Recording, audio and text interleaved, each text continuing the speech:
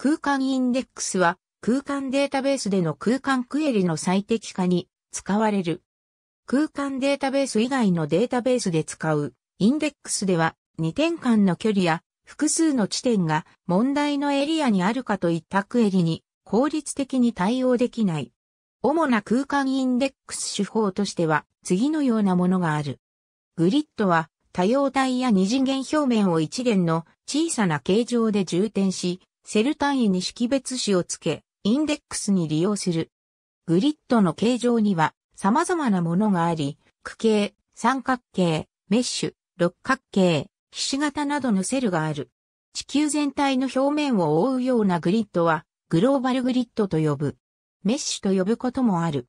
正方形、または矩形のグリッドは、直交座標との変換が容易であるため、よく使われる。グリッドは、経線や緯線に沿って配置されるとは限らない。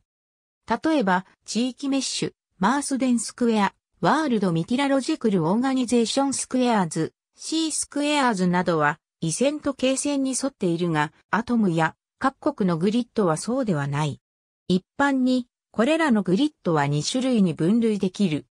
一つは、経線と緯線に沿って分割するもので、各領域の面積は等しくない。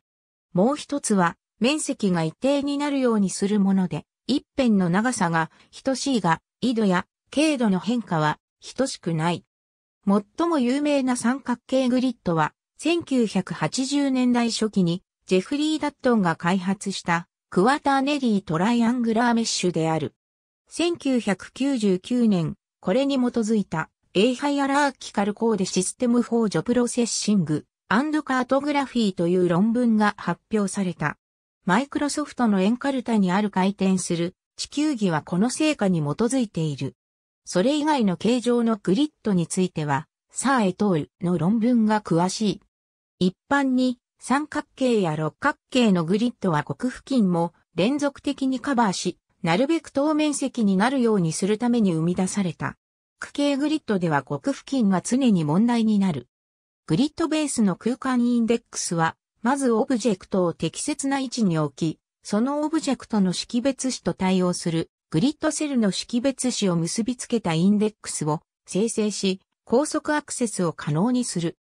これは空間駆動型、またはデータ独立型手法の例だが、逆のデータ駆動型、またはデータ依存型手法は Rigaux et al.で論じられている。グリッドベースの空間インデックスの利点は、インデックスの構造を先に作成でき、データはそのインデックス構造を変化させることなく、後から随時追加できる点である。実際、様々な種類のデータに共通のグリッドを使ってインデックスをつけていた場合、それらインデックスは様々なソースから集めてマージ可能である。一方、データ駆動型構造の R 機などはデータ量と検索速度は効率的だが既存のデータとインデックス構造が密接に結びついていることが多い。このような空間インデックスはデジタルデータに限ったものではない。例えば、地図帳の地名作品はページ番号とそのページの地図内の区形グリッド番号で示される。これも空間インデックスの一例である。ありがとうございます。